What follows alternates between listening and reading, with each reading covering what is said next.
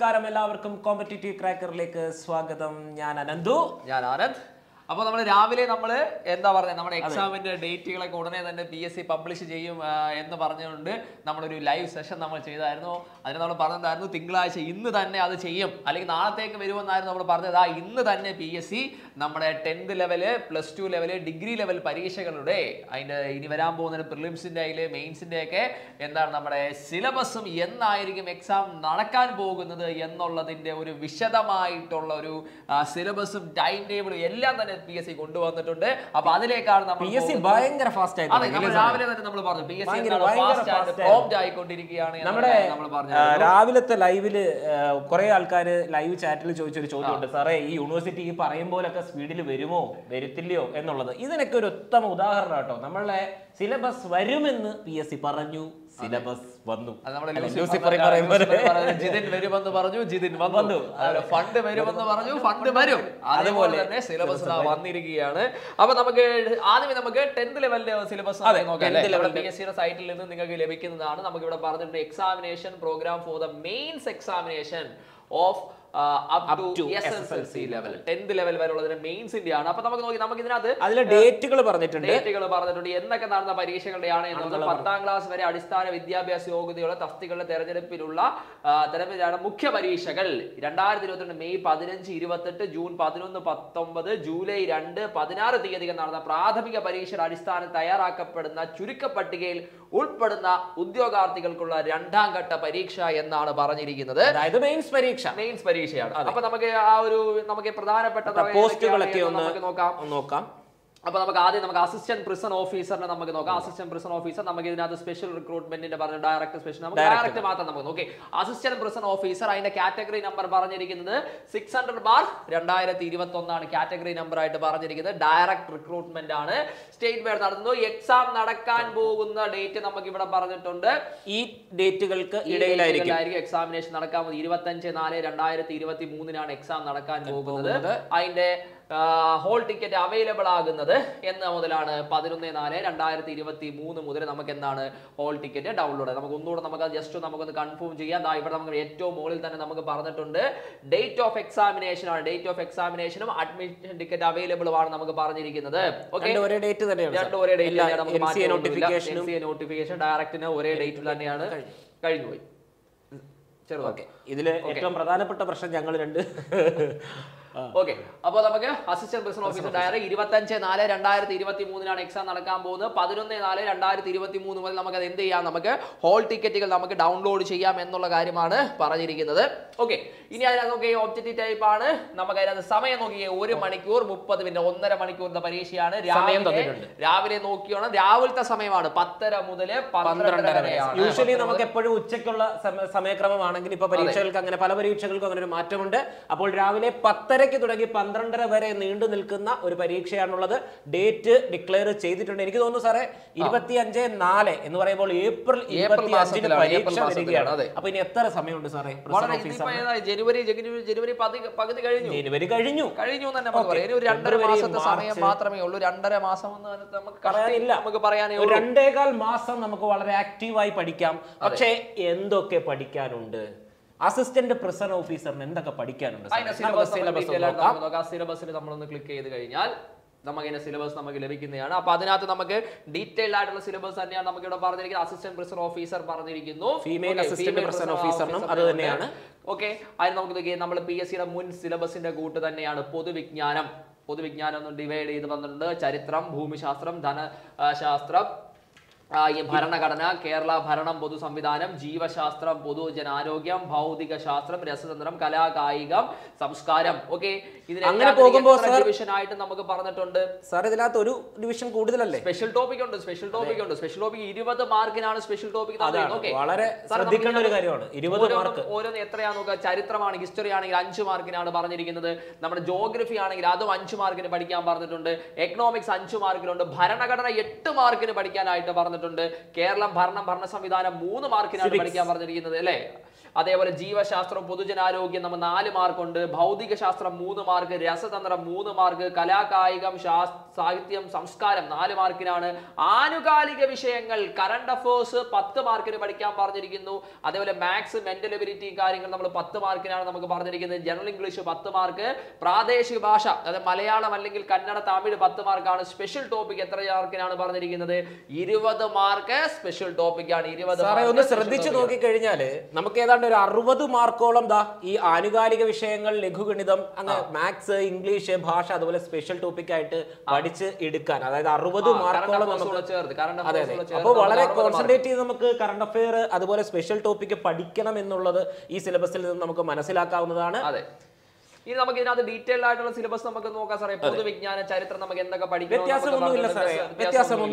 നമ്മുടെ മുൻ വർഷങ്ങളിലെ കൂട്ട് തന്നെയാണ് കേരളത്തിന്റെ ചരിത്രം നമ്മൾ പറഞ്ഞിട്ടുണ്ട് യൂറോപ്യന്മാരുടെ വരവ് മുതൽ. കാര്യങ്ങളാണ്. അതെ. ഇന്ത്യയുടെ ആണെങ്കിൽ ഈ രാഷ്ട്രീയ ചരിത്രം ബ്രിട്ടീഷ് ആധിപത്യം ഒന്നാം സ്വാ- സ്വാതന്ത്ര്യ സമരം അങ്ങനെയുള്ള കാര്യങ്ങളൊക്കെയാണ് പറഞ്ഞിരിക്കുന്നത്. അതായത് ഒരു പുതിയ ചരിത്രം മതി. മോഡേൺ ഇന്ത്യൻ ഹിസ്റ്ററിയുടെ ചരിത്രങ്ങൾ മാത്രം പഠിച്ചാൽ മതി. അതേപോലെ വേൾഡ് ഹിസ്റ്ററി നമുക്ക് പഠിക്കാൻ നമുക്ക് പറയുന്നുണ്ട് വേൾഡ് ഹിസ്റ്ററി നമുക്ക് ഇംഗ്ലണ്ടിന്റെ മഹത്തായ വിപ്ലവങ്ങളെല്ലാം തന്നെ വിശദീകരിച്ച് പഠിക്കണം എന്ന് പറഞ്ഞിട്ടുണ്ട്. പക്ഷെ ചൈനീസ് പക്ഷേ കുറച്ച് എനിക്ക് തോന്നുന്നു ചരിത്രം കുറച്ച് ആഴത്തിൽ പഠിച്ചാൽ മാത്രമേ ഓരോ മാർക്കും വിലപ്പെട്ടതായതുകൊണ്ട് ഓരോ മാർക്ക്. വിലപ്പെട്ടതാണ്. അതെ അതെ. അതേപോലെ നമ്മുടെ ഭൂമിശാസ്ത്രം ജോഗ്രഫി അഞ്ച് മാർക്ക് തന്നെയാണ്. കഴിഞ്ഞ ടെൻത്ത് മെയിൻസിന്റെ അതേപോലെ തന്നെയാണ്. അതിനകത്ത് നമുക്ക് സ്പെഷ്യൽ ടോപ്പിക്കും അല്ലേ? അതാണ് എനിക്ക് തോന്നുന്നു എക്സ്ട്രാ ആയിട്ട് നമുക്ക് പഠിക്കാനുള്ളത് നമുക്ക് ആ സ്പെഷ്യൽ ടോപ്പിക്കിന്റെ കാര്യം നമുക്ക് നോക്കാം. സ്പെഷ്യൽ ടോപ്പിക് നമുക്ക് വരുമ്പോൾ നമുക്ക് എവിടെയാണ്? ഞാൻ ഏറ്റവും അവസാനമായിട്ടാണ് സ്പെഷ്യൽ ടോപ്പിക് കൊടുത്തത് സ്പെഷ്യൽ ടോപ്പിക് നമുക്ക് എത്ര ഏതൊക്കെ കാര്യങ്ങളാണ് പറഞ്ഞിരിക്കുന്നത് നമുക്ക് നോക്കാം. സാഹിത്യമല്ല നമുക്ക് മാറ്റമൊന്നുമില്ല. കഴിഞ്ഞ അതേ സിലബസിന്റെ അടിസ്ഥാനത്തിൽ തന്നെ ഉള്ളതാണ് പറയുന്നത് ജനറൽ ഇംഗ്ലീഷ് പറഞ്ഞിട്ടുണ്ട്. ജനറൽ ഇംഗ്ലീഷ് വൊക്കാബുലറിയോട് ചേർത്താണ് കേട്ടോ പത്ത് മാർക്ക് പറഞ്ഞിരിക്കുന്നത്. അതായത് ജനറൽ ഇംഗ്ലീഷ് മാത്രമായിട്ട് ഭാഷ മലയാളം കന്നഡയുടെ കാര്യം അതിനകത്ത് പറയും കന്നഡ തമിഴാണ് സ്പെഷ്യൽ ടോപ്പിക് നമുക്ക് വന്നു. ഓക്കെ നോക്കി അപ്പൊ അസിസ്റ്റന്റ് പ്രിസൺ ഓഫീസറാണ് നമുക്ക് സ്പെഷ്യൽ ടോപ്പിക്കിൽ നമുക്ക് പറഞ്ഞിരിക്കുന്നത്. അപ്പൊ അതിനെ നോക്കി തസ്തികകളുടെ ജോലി സ്വഭാവവുമായി ബന്ധപ്പെട്ട വിഷയങ്ങളാണ് പറഞ്ഞിരിക്കുന്നത്. ഇരുപത് മാർക്ക് ഇരുപത് മാർക്ക് അതിനകത്തും ഡിവിഷൻസ് കൊടുത്തിട്ടുണ്ട് സാർ ഓരോന്നും എത്ര മാർക്കിന് വരാം എന്നുള്ളത്. അതിനകത്ത് നമുക്ക് നോക്കി പ്രിസൺ ഓഫീസർ എന്ന് പറയുന്നത് പ്രിസൺ ആണ്. ജയിലാണ്. അപ്പൊ കേരളത്തിൽ ജയിലിനെ കുറിച്ചുള്ള വിവരങ്ങൾ നമ്മൾ പഠിച്ചിരുന്നു. ഓക്കെ കേരള ജയിൽ വകുപ്പ് ഘടനയും പ്രവർത്തന രീതിയും എത്ര മാർക്കാ സാറേ പറഞ്ഞിരിക്കുന്നത്? അഞ്ചു മാർക്കാണ്. അഞ്ചു പറഞ്ഞത്. അഞ്ച് അഞ്ച് മാർക്ക് അഞ്ചു മാർക്കാണ് പറഞ്ഞിരിക്കുന്നത്. പിന്നെ അടുത്തത് നോക്കിക്കഴിഞ്ഞാൽ ആയിരത്തി തൊള്ളായിരത്തി തൊണ്ണൂറ്റി മൂന്നിലെ മനുഷ്യാവകാശ സംരക്ഷണ നിയമം. നമ്മളെ ഹ്യൂമൻ റൈറ്റ് കഴിഞ്ഞ പരീക്ഷ എല്ലാത്തിനുള്ള tenth mains prelims plus two mains prelims എല്ലാത്തിനും ഡിഗ്രി പ്രിലിംസ് മെയിൻസ് എല്ലാത്തിനകത്തുള്ളതാണ് നമ്മുടെ മനുഷ്യാവകാശ നിയമം. വിവരാവകാശ നിയമം എത്ര മാർക്ക്? അഞ്ച് അഞ്ച് മാർക്ക് വെച്ച് തന്നിട്ടുണ്ട്. അത് പക്ഷേ എനിക്ക് തോന്നുന്നു വളരെ എളുപ്പം സ്കോർ ചെയ്യാൻ പറ്റുന്ന ഒരു പത്ത് മാർക്ക് ഇവിടെ ഉണ്ട്. ഇത് നോക്കി നമ്മളെ ഈ പറയുന്ന ഒരു സെറ്റ് എക്സാം തുടങ്ങുന്ന ആ സമയം മുതൽ തന്നെ നമ്മൾ പഠിച്ചു വന്നതാണ് അല്ലേ? അപ്പൊ അതിനകത്ത് ഓൾമോസ്റ്റ് എല്ലാ ചോദ്യങ്ങളും കാര്യങ്ങളും നമുക്ക് എന്താണ്? പ്രാക്ടിക്കലായി കഴിഞ്ഞു. പ്രാക്ടീസ് ചെയ്ത് കഴിഞ്ഞു. നമ്മൾ കേട്ടിട്ടുള്ള വിവരങ്ങളാണ് ഈ പറയുന്ന പത്ത് മാർക്കിലുള്ള കാര്യങ്ങൾ നമുക്ക് അഡീഷണൽ ആയിട്ട് നമുക്ക് ഇവിടെ കേരള ജയിൽ. കാര്യം മാത്രമാണ് അഡീഷണൽ ആയിട്ട് നമുക്ക് ഉള്ളത്. ഓക്കെ പിന്നെ നമുക്ക് മനഃശാസ്ത്രവുമായിട്ട് ബന്ധപ്പെട്ട കാര്യം അത് അഡീഷണൽ ആയിട്ട് നമുക്ക് വന്നതാണ് മനഃശാസ്ത്രവുമായിട്ട് ബന്ധപ്പെട്ട കാര്യങ്ങൾ. അതിന് എത്രയാണ് പറഞ്ഞിരിക്കുന്നത്? അഞ്ച് നമുക്ക് ബേസിക് ആയിട്ടുള്ള കാര്യങ്ങൾ മാത്രമേ പറഞ്ഞുള്ളൂ അടിസ്ഥാന തത്വങ്ങളാണ് പറഞ്ഞത് മനഃശാസ്ത്രം അടിസ്ഥാന തത്വങ്ങൾ. അത് നമ്മൾ എന്താണ്? അഡീഷണൽ ആയിട്ട് നമ്മൾ എന്ത് ചെയ്യണം? ഒന്ന് നമ്മൾ പഠിച്ചെടുക്കേണ്ട കാര്യങ്ങൾ തന്നെയാണ്. അതിന് മനുഷ്യർ പക്ഷേ അതിനൊരു എന്തായാലും ഈ സ്പെഷ്യൽ ടോപ്പിക്കിന് ഒരു ലിമിറ്റ് ഉണ്ടാവും അല്ലേ സാർ നമുക്ക് ഒരു ഒരു അടുക്കും ചിട്ടയോടെ പഠിച്ചാൽ വളരെ എളുപ്പം ഒരു മാർക്ക് കിട്ടാവുന്നതാണ്. പഠിച്ചാൽ നമുക്ക് ഒരു ഉറപ്പായിട്ട് നമുക്ക് എടുക്കാവുന്ന കാര്യം തന്നെ. നോക്കി ഇത് ഈ രണ്ട് എന്തിൽ നമുക്ക് പത്ത് മാർക്ക് നമുക്ക് എങ്ങനെയായാലും നമുക്ക് സാർ സ്കോർ. ചെയ്തെടുക്കാം ബന്ധപ്പെട്ട് ജനറൽ ആയിട്ടുള്ള അതിന്റെ കാര്യങ്ങൾ പ്രവർത്തന രീതികൾ വളരെ ബേസിക് ആയിട്ടുള്ള ഓപ്ഷൻസ് ഓപ്ഷൻസിൽ നിന്ന് തന്നെ നമുക്ക് എന്ത് ചെയ്യാൻ പറ്റുന്നതായിരിക്കും? ചെയ്തെടുക്കാൻ പറ്റുന്നത് പിന്നെ നമ്മൾ അഡീഷണൽ ആയിട്ട് നമുക്ക് ഇതുവരെ നമ്മൾ കുറച്ച് വർക്ക് ചെയ്യണം എന്നുള്ളത് ഇവിടെയാണ്.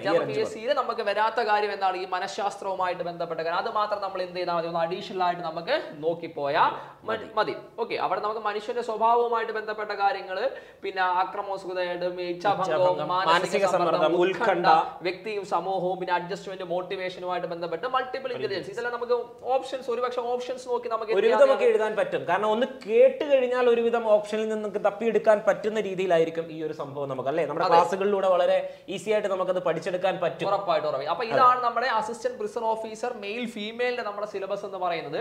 ഇത് നമുക്ക് അടുത്ത സിലബസിലേക്ക് നമുക്കൊന്ന് പോകാം. അടുത്ത സിലബസിലേക്ക് നമുക്കൊന്ന് പോകാം. അടുത്ത നമുക്ക് സിലബസ് എന്ന് പറയുമ്പോൾ നമുക്ക് ഡയറക്റ്റ് ഏതാ ജാക്സ നമ്മൾ എടുക്കേണ്ടത്? പെട്ടെന്ന് എടുത്തേ.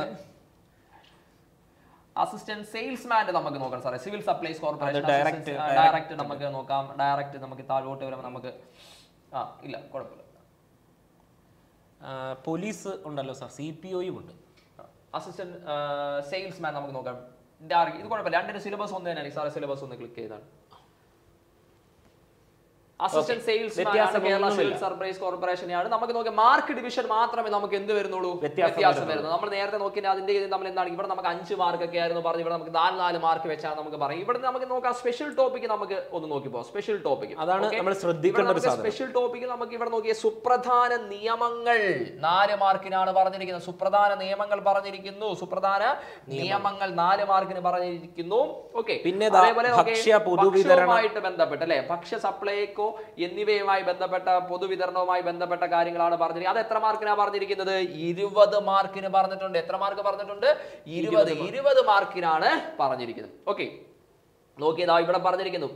ഭക്ഷ്യ പൊതുവിതരണ സപ്ലൈകോ എന്നിവയുമായി ബന്ധപ്പെട്ട അടിസ്ഥാന വിവരങ്ങൾ എത്ര അപ്പോൾ എനിക്ക്? തോന്നുന്നു സ്പെഷ്യൽ 20 മാർക്ക്. ടോപ്പിക്കുകളെല്ലാം ഇരുപത് മാർക്കിന് വളരെ ഇമ്പോർട്ടന്റ് ആയി പഠിക്കണം അപ്പോൾ നമ്മൾ എഴുതാൻ പോകുന്ന ഡിപ്പാർട്ട്മെന്റ് ഏതാണോ പരീക്ഷ ഏതാണോ അതിനെപ്പറ്റി വളരെയധികം ആഴത്തിൽ അറിയുന്ന ഉദ്യോഗാർത്ഥിക്ക് മാത്രമേ നമ്മുടെ കോഴ്സ് സ്റ്റാർട്ട് ചെയ്യുന്നുണ്ടോ എന്ന് ഉറപ്പായിട്ടും. ഡീറ്റെയിൽസ് എല്ലാം നിങ്ങൾക്ക് ഒന്ന് രണ്ട് ദിവസത്തിനുള്ളിൽ നമ്മൾ നിങ്ങൾക്ക് തരുന്നതായിരിക്കും കേട്ടോ ഉറപ്പായിട്ടും സ്റ്റാർട്ട് ചെയ്ത് കഴിഞ്ഞു. നിങ്ങൾക്ക് തരുന്നുണ്ടായിരിക്കും ഓക്കെ അപ്പൊ നമുക്ക് സ്പെഷ്യൽ ടോപ്പിക്കിന് മാത്രമായിട്ട് സ്പെഷ്യൽ ടോപ്പിക്കിന് ഓരോ സെറ്റ് ഓഫ് എക്സാംസിന് സ്പെഷ്യൽ ടോപ്പിക്ക് മാത്രമായിട്ട് നമ്മൾ എന്ത് ചെയ്യുന്നതാണ് ക്ലാസ്സസ് നമ്മൾ അറേഞ്ച് ചെയ്യുന്നത് ആയിരിക്കും. ഓക്കെ അപ്പോൾ ഇതിനകത്ത് നമുക്ക് ഇതിന്റെ ഈ പറയുന്ന സപ്ലൈകോമായിട്ട് ബന്ധപ്പെട്ട കാര്യങ്ങൾ നമുക്ക് എന്തൊക്കെയാണ് അതിനകത്ത് നമുക്ക് പഠിക്കാനുള്ളത് നമുക്ക് ജസ്റ്റ് നമുക്ക് നോക്കാം. ബാക്കി സിലബസ് എല്ലാം നമുക്ക് നേരത്തെ പഴയതുപോലെ പഴയതുപോലെ തന്നെയാണ്. മാറ്റങ്ങളും കാര്യങ്ങളും ഒന്നുമില്ല. ഓക്കെ ഓക്കെ സാർ ഒന്നുകൂടെ. പോട്ടെ കുറച്ചുകൂടെ ആ ഓക്കെ ഇവിടെ വന്നിട്ടുണ്ട്. ആണ്? ഭക്ഷ്യ പൊതുവിതരണ സപ്ലൈകോ എന്നിവയുമായി ബന്ധപ്പെട്ട അടിസ്ഥാന വിവരങ്ങളാണ് ഇരുപത് മാർക്കിനാണ് പറഞ്ഞത് അതിനകത്ത് നമുക്ക് കേരള സ്റ്റേറ്റ് സിവിൽ സപ്ലൈസ് കോർപ്പറേഷനുമായിട്ട് ബന്ധപ്പെട്ട അതായത് സപ്ലൈകോയെ കുറിച്ചുള്ള അനുബന്ധമായിട്ടുള്ള കാര്യങ്ങൾ അഞ്ചു മാർക്ക് നമ്മൾ പഠിക്കണം. Public distribution system in Kerala and food and civil supply supplies നമ്മൾ നോക്കി നമ്മൾ സപ്ലൈകോ ക്യു ആർ കോഡ് നമ്മൾ ആക്കിയിട്ടുണ്ട്. ബാർ കോഡ് സംവിധാനം ആക്കിയിട്ടുണ്ട് അല്ലേ? അതെ, അതെ, അതെ. അതുമായിട്ട് ബന്ധപ്പെട്ട കാര്യങ്ങൾ നോക്കി കൂടുതൽ അങ്ങനെയുള്ള ഭാഗങ്ങളെ അഞ്ച് മാർക്കാണ് നമുക്ക് പറഞ്ഞത്. കസ്റ്റമർ റിലേഷൻ മാനേജ്മെന്റുമായിട്ട് ബന്ധപ്പെട്ട് അഞ്ച് മാർക്കിന് നമ്മൾ ബന്ധവുമായി ബന്ധപ്പെട്ട ചോദ്യങ്ങൾ. പിന്നെ ചില്ലറ വിൽപ്പനയുമായി ബന്ധപ്പെട്ട് വിപണന കച്ചവട തന്ത്രങ്ങളുമായി ബന്ധപ്പെട്ട് റീറ്റെയിൽ മാർക്കറ്റിംഗുമായി ബന്ധപ്പെട്ട് എത്ര മാർക്കിനാണ്? അപ്പൊ കച്ചവടക്കാരനുമായി ബന്ധപ്പെട്ട് അല്ലെങ്കിൽ കച്ചവടവുമായി ബന്ധപ്പെട്ടിട്ടുള്ള ഒരുപാട് കാര്യങ്ങൾ ഈ ഒരു ഭാഗത്ത് നിന്ന് പഠിക്കാനുണ്ട് അല്ലെ? അതെ. ഉപഭോക്താവ് വിൽപ്പന ഇതുമായി ബന്ധപ്പെട്ട കാര്യങ്ങളൊക്കെയാണ് സപ്ലൈകോയുമായി ബന്ധപ്പെട്ട കാര്യങ്ങളാണ് നമ്മൾ എന്താണ് കുറച്ച് ഡീറ്റെയിൽഡ് ആയിട്ട് നമ്മൾ അവിടെ നല്ലപോലെ അതിൽ നിന്നുള്ള ചോദ്യങ്ങളൊക്കെ നമുക്ക് നല്ല രീതിയിൽ തന്നെ നമുക്ക് എന്ത് ചെയ്യാം? പ്രതീക്ഷിക്കാവുന്നത് ആണ്. ഓക്കെ ഇനി നമുക്ക് civil police officer civil police officer നമുക്ക് നമുക്ക് നോക്കാം. പ്രിസൺ ഓഫീസർ നമുക്ക് നോക്കി. Okay. Direct. Photo photo senior civil police officer. നമുക്ക് സീനിയർ ഡയറക്റ്റ് ആണ് അല്ലെങ്കിൽ സെയിം സിലബസ് തന്നെയാണ്. കുഴപ്പമൊന്നുമില്ല. ദാ ഇവിടെ കിടപ്പ് ഓക്കെ. ഓക്കെ ഒന്ന് നോക്കാം പോലീസ് കോൺസ്റ്റബിൾ പരീക്ഷാ ഡേറ്റ് പരീക്ഷ ഡേറ്റ് മാറിപ്പോയത് മൂന്ന് അഞ്ച് രണ്ടായിരത്തി ഇരുപത്തി മൂന്നിന് ഏതിന്റെയാണ് police constable? Indian reserve battalion regular wing direct okay direct നടക്കുന്ന മൂന്ന് അഞ്ച് രണ്ടായിരത്തി മെയ് മൂന്നിന് പരീക്ഷയാണ്. അതിന് നമുക്ക് പത്തൊൻപതാം? തീയതി. പത്തൊമ്പത് നാല് രണ്ടായിരത്തി ഇരുപത്തി മൂന്നിന് നമുക്ക് എന്ത് ചെയ്യാം? നമുക്ക് ഹോൾ ടിക്കറ്റ് ഡൗൺലോഡ് ചെയ്യാം. ഇത് എന്തിന്റെ സിലബസ് ആണ് എന്ന് നമുക്ക് ചോദിച്ചു ഇതിപ്പോ നമ്മൾ ടെൻത്ത് ലെവലെ എക്സാമിന്റെ മെയിൻസിന്റെ സിലബസ് നമുക്ക് വന്നിട്ടുണ്ട്. ആ സിലബസ് ആണ് നമ്മൾ ചെയ്യുന്നത് അതിനുശേഷം പ്ലസ് ടു ഡിഗ്രി എല്ലാം നമ്മൾ ചെയ്യുന്നതായിരിക്കും. സാർ സിലബസ് എടുത്തോളൂ. ഓക്കെ നമുക്ക് നോക്കാം. സാർ എനിക്ക് തോന്നുന്നു മറ്റേതുപോലെ തന്നെയാണ്. എല്ലാ മറ്റേതുപോലെ തന്നെയാണ് വ്യത്യാസമൊന്നുമില്ല കോൺസ്റ്റിറ്റ്യൂഷന്റെ മാർക്കിലൊക്കെ വളരെ വ്യത്യാസമുണ്ട് ബാക്കിയെല്ലാം supply code പഴയത്. പറഞ്ഞപ്പോ നമുക്ക് അവിടെ നാല് മാർക്ക് നാല് മാർക്കാണ് ഇവിടെ അഞ്ച് മാർക്കിന് മാത്രമാണ് അഞ്ച് മാർക്കാണ് മാത്രം അപ്പൊ അത് മാത്രമേ നമുക്ക് വ്യത്യാസം എന്ന് പറയാൻ വരുന്നുള്ളൂ. പിന്നെ നമ്മൾ സ്പെഷ്യൽ അത് ഇരുപത് മാർക്ക് നേരത്തെ ഇരുപത് പറഞ്ഞത് മാർക്കാണ് ഓക്കെ പോലീസ് ആക്ട് പോലെയുള്ള കാര്യങ്ങൾ പോലീസ് ആക്ട് വരെ. I P C R P C അപ്പൊ അത് നമുക്ക് ഏതൊക്കെയാണ് നമുക്ക് സ്പെഷ്യൽ ടോപ്പിക് നമുക്ക് നോക്കാം. ഓക്കെ കഴിഞ്ഞു സാർ കഴിഞ്ഞു പോയി അത് കഴിഞ്ഞു പോയി കുറച്ചുകൂടെ മേളിലോട്ട് പോട്ടെ. സ്പെഷ്യൽ ടോപ്പിക് എനിക്ക് നമ്മൾ കഴിഞ്ഞ പ്ലസ് ടു മെയിൻസിന്റെ അതേ സ്പെഷ്യൽ ടോപ്പിക്കുകൾ തമ്മിൽ തന്നെയാണ്. മാറ്റം ഒന്നും പറയുന്നില്ല മാറ്റം ഒന്നും പറയുന്നില്ല. ഓക്കെ കുറച്ചുകൂടെ മേലോട്ട് പോട്ടെ സാറേ. ആ ഇത് തന്നെ. ആ സ്പെഷ്യൽ ടോപ്പിക്കുകൾ അത് തന്നെയാണ് ഇരുപത് മാർക്കിനാണ് നമ്മുടെ കഴിഞ്ഞ പ്ലസ് ടു മെയിൻസ് പരീക്ഷയ്ക്ക് നമുക്ക് സി പി യുടെ പരീക്ഷ. അതേ മെയിൻസിന്റെ സിലബസ് തന്നെയാണ്. ഓക്കെ അപ്പൊ അത് അന്ന് പഠിച്ച ആൾക്കാർക്കൊക്കെ ഇന്ന് എന്താണ് കിട്ടാത്ത ആൾക്കാർക്ക് പഠിച്ചെടുക്കാൻ വളരെ സിമ്പിൾ ആണ്. കാരണം ഓൾറെഡി നിങ്ങൾ പഠിച്ചാൽ റിവൈസ് ചെയ്താൽ മാത്രം മതി. ഓക്കെ ഐ പി സിയുമായിട്ട് ബന്ധപ്പെട്ട ഐ പി സി സെഷൻസ് എടുത്തും പറഞ്ഞിട്ടുണ്ട്. ഏതൊക്കെയാണ് സെഷൻസ് എടുത്തു പറഞ്ഞിട്ടുണ്ട്. ഈ പറഞ്ഞ ഐ പി സി സെഷൻസ് ഇത് തന്നെ നിങ്ങൾ നിങ്ങളങ്ങ് കാണാൻ പഠിച്ച ഐ പി സി സെഷൻ എൺപത്തൊന്ന് എന്തിനെ കുറിച്ചാണ് പറഞ്ഞത്. അത് തന്നെ കാണാതെ പഠിച്ചാൽ നിങ്ങൾക്ക് എന്ത് ചെയ്യാൻ പറ്റും? ചിലപ്പോൾ ഡയറക്റ്റ് ആയിട്ട് നമുക്ക് ഒന്നോ രണ്ടോ മാർക്ക് നമുക്ക് അവിടെ തന്നെ നമുക്ക് എന്ത് ചെയ്യും? സ്കോർ ചെയ്യാൻ നമുക്ക് അതായത് ഈ സിലബസിൽ കൊടുത്തിരിക്കുന്ന വാക്കുകൾ അല്ലെങ്കിൽ എന്തൊക്കെയാണുള്ളത് അത് കൃത്യമായി നമ്മൾ പഠിച്ചു എന്ന് ഉറപ്പുവരുത്തുകയാണ് ഉറപ്പുവരുത്തുക ആദ്യം ചെയ്യേണ്ടത് ഓക്കെ അപ്പൊ ഇതിനകത്ത് നമുക്ക് ആദ്യം പറഞ്ഞ ഐ പി സി ജനറൽ എക്സെപ്ഷൻസിന്റെ കാര്യമാണ് പറഞ്ഞിരിക്കുന്നത്. അത് നമുക്ക് പഠിക്കാനുള്ള നാല് മാർക്കാണ് ഐ പി സി പിന്നെ ഒഫൻസസ് അഗേൻസ്റ്റ് ബോഡി അല്ലെ? ഒരാളുടെ ശരീരത്തിനെതിരായിട്ടുണ്ടാകുന്ന ഒഫൻസസ് കൊലപാതകം അങ്ങനെയുള്ള കാര്യങ്ങളെ കുറിച്ചുള്ള ഓക്കെ ഇത് തന്നെ ഏകദേശം ഒരു നൂറ് നൂറ്റമ്പതോളം സെഷൻസ് നമുക്ക് പഠിക്കാറുണ്ട്.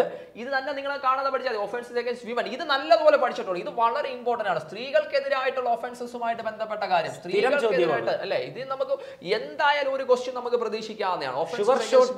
ഷോട്ട്. മേഖലയാണ്. ഷുഗർ ഷോട്ട് മേഖലയാണ്.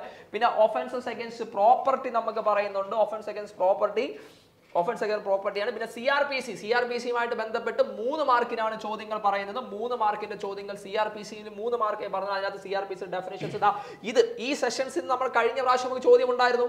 സെഷൻ ഈ പറഞ്ഞ H I N W X ഇതുമായിട്ട് ബന്ധപ്പെട്ട ചോദ്യം നമുക്ക് ഉണ്ടായിരുന്നു. വളരെ ഇമ്പോർട്ടന്റ് ഇപ്പോഴും നമുക്ക് ചോദിക്കാവുന്നത് തന്നെയാണ്. പിന്നെ അറസ്റ്റ് രേഖപ്പെടുത്തുന്നതുമായിട്ട് ബന്ധപ്പെട്ട ചോദ്യങ്ങൾ സമൻസ് അയക്കുന്നത് വാറണ്ട് ഇതും ഇതും കഴിഞ്ഞ പ്രാവശ്യത്തെ ചോദ്യത്തിലുണ്ട്. സി ബി ഐ ചോദ്യം നമുക്ക് ഉണ്ടായിരുന്നു അല്ലേ? പിന്നെ police information information police and power to ഇൻവെസ്റ്റിഗേഷന്റെ കാര്യം നമുക്ക് പറഞ്ഞിട്ടുണ്ട്.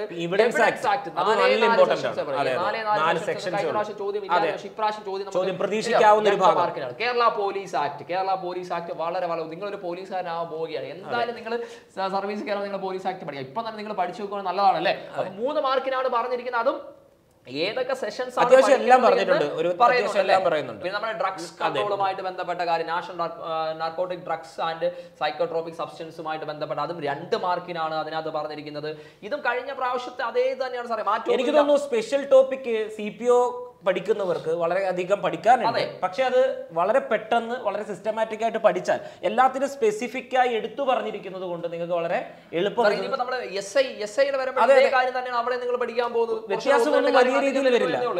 പിന്നെ പോക്സോ നിയമവുമായിട്ട് ബന്ധപ്പെട്ട് രണ്ട് മാർക്കിനാണ് പോക്സോ നിയമത്തിന്റെ നല്ല ചോദ്യം വരാവുന്ന ഒരു അതെ മാറ്റമൊന്നുമില്ല. ഇത് അതേ കാര്യങ്ങൾ തന്നെയാണ്. പിന്നെ ഐ ടി ആക്ടിന്റെ ഉണ്ട്. പിന്നെ റൈറ്റ് ടു വിവരാവകാശ നിയമം. വിവരാവകാശ നിയമവുമായിട്ട് ബന്ധപ്പെട്ട് അത് നമുക്ക് നാല് സെഷൻസ് ആണ്. ഈ നാല് സെഷൻസിൽ നമ്മൾ കഴിഞ്ഞ പ്രാവശ്യം നമുക്ക് ക്വസ്റ്റ്യൻസ് നമുക്ക് ഉണ്ടായിരുന്നു ഇപ്രാവശ്യം നമുക്ക് ചോദ്യം പ്രതി ചെയ്യാം? അല്ലെ? ഈ ഐ ടി ആക്ട് നമ്മൾ ഈ പറയുന്ന റൈറ്റ് ഇൻഫർമേഷൻ ആക്ട് നമ്മൾ കാലങ്ങളായി പഠിക്കുന്ന കാര്യം അതൊന്നും ഒരു എക്സ്ട്രാ പഠിത്തം നടത്തേണ്ടതല്ല. ഏതിന്റെ സിലബസ് ആണ് എന്ന് ചോദിച്ചിട്ടുണ്ട് സാറേ? ഇത് നമ്മൾ ടെൻത്ത് ലെവലിന്റെ. ആ ഇനി നമുക്ക് അടുത്തതിലേക്ക് നമുക്ക് പോകാം. അടുത്ത ലീവ് ചെയ്തോളൂ. ഓക്കെ ഇത് കഴിഞ്ഞല്ലോ. അത് കഴിഞ്ഞു. ഇനി നമുക്ക് അടുത്ത ഡയറക്ട് റിക്രൂട്ട്മെന്റ് പോട്ടെ പോട്ടെ പോട്ടെ. സ്റ്റേറ്റ് വൈഡ് സെക്യൂരിറ്റി ഗാർഡ് അതിന്റെ സെക്യൂരിറ്റി ഗാർഡ് നമുക്ക് വേണ്ട. ജൂനിയർ അസിസ്റ്റന്റ് വേണം. Kerala agro ഇൻഡസ്ട്രീസിന്റെ junior assistant in Kerala agro industries corporation. ആറിനാണ് ആ, മെയ് അതായത് നോക്കി ആ മെയ് ഏപ്രിൽ മെയ് മാസത്തിൽ മൊത്തം. ഒരുവിധം ഒരുപാട് ലിസ്റ്റുകളിൽ വന്നവർക്ക് അടുപ്പിച്ച് അടുപ്പിച്ച് അടുപ്പിച്ച് ഒരുപാട് പരീക്ഷകൾ ഉണ്ടാവും. അത്. നിങ്ങൾ വളരെ സെലക്റ്റീവ് ആയിട്ട് തന്നെ കാര്യങ്ങളെ കാണണം. അതായത് സമയമുണ്ട് എന്ന് പറഞ്ഞിരിക്കരുത്. സമയമുണ്ടെന്ന് ജനുവരി അല്ലേ ഉള്ളൂ. പറഞ്ഞില്ലേ? അതാണ് വളരെ സമയം കുറവാണ്. അതിന്റെ സിലബസ് നമുക്ക് നോക്കാം സാറേ. അതെ. അതിന്റെ സിലബസിനകത്ത് നമുക്ക് ഈ പഠിക്കേണ്ട സാധനങ്ങളിൽ പൊതുവായിട്ടുള്ള ഒരുപാട് കാര്യങ്ങളുണ്ട് നോക്ക് ഇവിടെ മാർക്ക് ഡിവിഷൻ മാത്രമേ നമുക്ക് വരുന്നുള്ളൂ. എല്ലാത്തിനും നമ്മൾ എന്ത് മാത്രം നോക്കിയാൽ ഇതാ ഇവിടെ സുപ്രധാന ആനുകാലിക വിഷയങ്ങൾ ഇരുപത് മാർക്ക് ഇവിടെ ഇരുപത് മാർക്കാണ് കറണ്ട് അഫയേഴ്സ് പറഞ്ഞിരിക്കുന്നത്. ഇരുപത് മാർക്ക് ഇരുപത് മാർക്ക് കറണ്ട് അഫയേഴ്സ് പറഞ്ഞു വളരെ ഇമ്പോർട്ടന്റ് ആയിട്ട് ശ്രദ്ധിക്കേണ്ട ഒരു സുപ്രധാന നിയമങ്ങളാണെങ്കിൽ അഞ്ച് മാർക്ക് മാത്രമാണ് സുപ്രധാന നിയമങ്ങൾക്ക് കൊടുത്തിരിക്കുന്നത്. ഓക്കെ സുപ്രധാന നിയമങ്ങൾ അഞ്ച് മാർക്കിന് കൊടുത്തിരിക്കുന്നു. ഇവിടെ പക്ഷെ നമുക്ക് വേറെ സ്പെഷ്യൽ ടോപ്പിക് അതിനകത്ത് കൂടുതൽ അങ്ങനെ പറയാനില്ല. പക്ഷെ ഓർക്കേണ്ട കാര്യം അവിടെ സ്പെഷ്യൽ ടോപ്പിക്കുകൾക്ക് ഇരുപത് മാർക്ക് തന്നിടത്ത് ഇവിടെ കറണ്ട് അഫയറിന് കറണ്ട് അഫേഴ്സിനാണ് ഇവിടെ പ്രാധാന്യം നൽകിയിരിക്കുന്നത്. കറണ്ട് അഫേഴ്സ് ഇരുപത് മാർക്കിനാണ് അപ്പൊ നമുക്ക് സാർ ഈ പറയുന്ന നമുക്ക് ഇവിടെ ഈ സുപ്രധാന നിയമങ്ങൾ ആനുകാലിക വിഷയങ്ങൾ ഏതൊക്കെയാണ് എന്ന് സാറേ ഒന്ന് സ്ലൈഡ് ചെയ്യാം ഓക്കെ ഒന്ന് സ്ലൈഡ് ചെയ്യാമോ? പോട്ടെ കുറച്ചുകൂടെ പോട്ടെ. ആ പോട്ടെ സാറേ. സ്പോർട്സ് അല്ലേ അത്? അത് സ്പോർട്സ് ആണ്. സംസ്കാരവുമായിട്ട് ബന്ധപ്പെട്ട കാര്യങ്ങൾ കമ്പ്യൂട്ടർ ഇന്റർനെറ്റ് ആ കഴിഞ്ഞു പോയി സാർ കഴിഞ്ഞു പോയി കഴിഞ്ഞു പോയി. ഓക്കെ ഇതാ സുപ്രധാന നിയമങ്ങൾ. മേളിൽ പോയി. സുപ്രധാന നിയമങ്ങൾ കുറച്ചുകൂടെ കുറച്ചുകൂടെ. കുറച്ചുകൂടെ. കമ്പ്യൂട്ടർ അടിസ്ഥാനത്തിൽ താഴെ അല്ലേ? ആ മേലോട്ടാക്കിക്കോ കുറച്ചുകൂടെ താഴെ. ഒറ്റ- സുപ്രധാന നിയമങ്ങൾ മാറ്റമൊന്നുമില്ല താണ്ടെ. റൈറ്റ് ടു ഇൻഫർമേഷൻ ആക്ട് ഉപഭോക്തൃ സംരക്ഷണം നമുക്ക് വന്നിട്ടുണ്ട്. Consumer റൈറ്റ് ആണ് ആണ്. എൽ ഡി ക്ലർക്കിന്റെ അതേ സ്പെഷ്യൽ ടോപ്പിക് അതായത് ഇമ്പോർട്ടന്റ് ആക്ടുകളാണ് നമുക്ക് പിന്നെ നമ്മുടെ വൾണറബിൾ സെക്ഷൻസിന്റെ നമ്മൾ ഇതൊക്കെ നമ്മൾ ശരിക്കും നേരത്തെ പഠിച്ചിട്ടുണ്ട്. എൽ ഡി ക്ലർക്ക് മെയിൻസിന്റെ അതേ കാര്യം തന്നെയാണ് നമുക്ക് പറഞ്ഞിരിക്കുന്നത്. എൽ ഡി ക്ലർക്ക് മെയിൻസിന്റെ തന്നെയാണ് പറഞ്ഞിരിക്കുന്നത്. നമ്മുടെ സ്ത്രീകളുടെ. സംരക്ഷണത്തിന്റെ കാര്യം പറയുന്നുണ്ട്. പോക്സോ നിയമം നമുക്ക് പറയുന്നത് ആനുകാലിക വിഷയങ്ങൾ ഇരുപത് മാർക്കാണ് പറയുന്നത് ആനുകാലിക വിഷയങ്ങൾ ഇരുപത് മാർക്ക്. അതിന് പ്രധാനമായും നമ്മുടെ വിഷയങ്ങളുമായി ബന്ധപ്പെട്ട ബന്ധപ്പെട്ട കാര്യങ്ങളാണ് നമ്മൾ അവിടെ പ്രധാനമായിട്ട് നമുക്ക് നോക്കുക പക്ഷെ ഇവിടെ നമുക്ക് ഇമ്പോർട്ടന്റ് ആക്ട് എന്നാണ് അല്ലാതെ വേറെ സെപ്പറേറ്റ് ആയിട്ട് സ്പെഷ്യൽ ടോപ്പിക്കുകളോ കാര്യങ്ങളോ ഒന്നും ഇവിടെ നമുക്ക് പറഞ്ഞിട്ടില്ല. ഇവിടെ നമുക്ക് പറഞ്ഞിട്ടില്ല. ഓക്കെ ഇനി നമുക്ക് ക്ലർക്ക് ലെവൽ വേരിയസ് നമുക്ക് പറഞ്ഞിട്ടുണ്ട്. അതിന്റെ നമുക്ക് നമുക്ക് നോക്കാം. Clerk level various state wide director പറയുന്നുണ്ട്. എവിടത്തേക്കാണ്? Beverage L D beverage L D സാറേ സെയിം ഡേറ്റ് സെയിം ഡേറ്റിൽ തന്നെയാണ്. അതിന്റെ കാറ്റഗറി നമ്പർ അഞ്ഞൂറ്റി അൻപത്തെട്ട് രണ്ടായിരത്തി ഇരുപത്തി ഒന്നാണ് L D clerk lower division clerk എവിടെയാണ് beverages corporation beverage L D beverage L D വളരെ നല്ലതാണ്. നമുക്ക് എന്താണ് കമ്മീഷൻസ് അല്ലേ? കമ്മീഷൻസ് അടിസ്ഥാനത്തിൽ ഒരുപാട് നമുക്ക് കിട്ടാൻ സാധ്യതയുള്ള ഒരു ഇതാണ് അതിന്റെ എക്സാം ഡേറ്റ് ആറ് അഞ്ച് രണ്ടായിരത്തി ഇരുപത്തി മൂന്നാണ് ഹോൾ ടിക്കറ്റ് നമുക്ക് ഇരുപത്തിരണ്ട് നാല് രണ്ടായിരത്തി ഇരുപത്തി മൂന്ന് മുതൽ ഡൗൺലോഡ് ചെയ്ത് കൊടുക്കാം. ഒന്നര മണിക്കൂർ സമയമെല്ലാം സിലബസ് എല്ലാം നമുക്ക് സിലബസ് നോക്കാം. ഇതിലും വലിയ വ്യത്യാസങ്ങൾ എന്ന് പറയാൻ? ആ മറ്റേതിന്റെ അത് അതേ അതേപോലെ തന്നെയാണ് സാറേ. കാര്യം. ഒരേ സിലബസ് ആണ് അതാണ് അതുകൊണ്ടാണത്. വ്യത്യാസമൊന്നുമില്ല. നേരത്തെ തന്നെ lower division ക്ലർക്കിൻ Kerala Kerala agro industries corporation ലിമിറ്റഡിന്റെയും ഈ പറയുന്ന ക്ലർക്കിന്റെയും ഒക്കെ സിലബസ് ഒന്നാണ്. ആണെങ്കിൽ എല്ലാത്തിന്റെ സിലബസ് ഒന്ന് തന്നെയാണ്. സെപ്പറേറ്റ് ആയിട്ട് മാത്രം നിങ്ങൾ നോക്കി അഡീഷണൽ ആയിട്ട് നിങ്ങൾ നോക്കി ഒന്ന് ഇരുന്നാൽ മാത്രം മതി. ഇവിടെ നമുക്ക് സ്പെഷ്യൽ ടോപ്പിക്കുകൾ നമുക്ക് വരുന്നില്ല. നമുക്ക് ഏതാണ് വിഷയങ്ങളാണ്. ഇമ്പോർട്ടന്റ് ആക്ടുകളാണ് വരുന്നത്. പിന്നെ ആനുകാലികം കറണ്ട് അഫോഴ്സിന് അധികം മാർക്ക് ഉണ്ട്. ഇരുപത് മാർക്ക് കറണ്ട് അഫോഴ്സിന് ഉണ്ട്. ഇരുപത് മാർക്ക് കറണ്ട് അഫോഴ്സിന് ഓക്കെ സാറേ ഇനി നമുക്ക് അടുത്തത് നമുക്ക് നോക്കാം. ഇനി നമുക്ക് ഇതിനകത്ത് വേറെ വേറെ വേറെ നമുക്ക് ഇതിനകത്ത് ഏതെങ്കിലും ഉണ്ട് community assistant office assistant village field assistant. Village field result ഇപ്പൊ നമുക്ക് ഇങ്ങോട്ട് വന്നതേ ഉള്ളൂ. ഡേറ്റ് പതിനൊന്ന് പതിനൊന്ന് അഞ്ച് അഞ്ചിനാണ്. പതിനൊന്ന് അഞ്ചിനാണ്. അതായത് മെയ് പതിനൊന്നിന് പരീക്ഷയാണ് സാറേ. അതെ മെയ് പതിനൊന്നിന് പരീക്ഷയാണ്. പതിനൊന്നിന് പരീക്ഷയാണ്. എല്ലാ എല്ലാ ജില്ലകൾക്കും മെയ് പതിനൊന്നിന് തന്നെയാണ് പരീക്ഷ വരുന്നത്. മാറ്റം ഒന്നുമില്ല. എല്ലാ ജില്ലകളും മെയ് പതിനൊന്ന് തന്നെയാണ്. അപ്പൊ ഏതെങ്കിലും ഒരു ജില്ലയുടെ സിലബസ് നമുക്ക് ഡൗൺലോഡ് ചെയ്തേ സാറേ. അതിനും മാറ്റം ഒന്നും ഉണ്ടാവാൻ സാധ്യത ആ കുറച്ച് മാറ്റങ്ങൾ നമുക്ക് പ്രതീക്ഷിക്കാം. അതായത് നേരത്തെ പറഞ്ഞിട്ടുള്ള പലതിന്റെയും സിലബസുമായിട്ട് ബന്ധപ്പെട്ട് ഫീൽഡ് അസിസ്റ്റന്റ് റവന്യൂ. ഓക്കെ. അതിനകത്ത് നമുക്ക് സിലബസ് നമുക്ക് നമുക്ക് നോക്കാം. ഇവിടെ മാർക്ക് ഡിവിഷൻ ആദ്യം നമുക്ക് നോക്കാം. മാർക്ക് ഡിവിഷൻ എന്തെങ്കിലും മാറ്റമുള്ള സാറേ? മാർക്ക് ഡിവിഷൻ മാറ്റമൊന്നുമില്ല ആനുകാലിക വിഷയങ്ങൾ ആനുകാലിക വിഷയങ്ങൾ. എല്ലാത്തിനും ആനുകാലിക വിഷയങ്ങൾ ഇരുപത് മാർക്കിനാണ് പറഞ്ഞിരിക്കുന്നത്. കറണ്ട് അഫയേഴ്സ് വളരെ കാര്യമായി പഠിക്കണം വളരെ കാര്യമായിട്ടാണ് കാരണം കറണ്ട് അഫയർ ഇപ്രാവശ്യം നമ്മുടെ സെക്രട്ടേറിയറ്റിന്റെ മെയിൻസ് പരീക്ഷ.